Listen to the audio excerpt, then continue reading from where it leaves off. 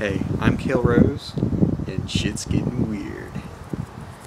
Okay, I have potassium iodide mixed with a little H2O, and I have in this cup some uh, 83% hydrogen peroxide. And I'm going to mix the two, which I did add a little soap to it, just to give it that buoyancy. Here's my uh, potassium iodide. And I'm gonna, I'm a little scared it might blow up. I don't know.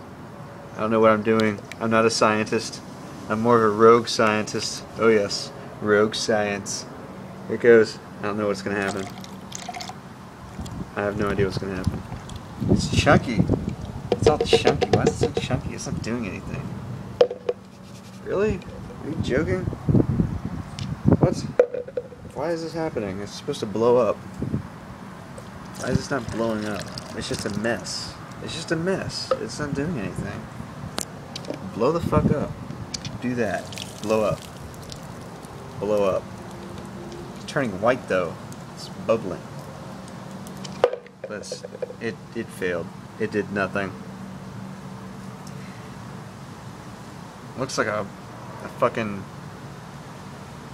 I don't want to say it, but it looks pretty bad. It looks like that blood that came off of the uh, spaceship Odyssey the 1980s film. I don't know. I think it was like that alien movie where the robot was like bleeding everywhere. Yeah.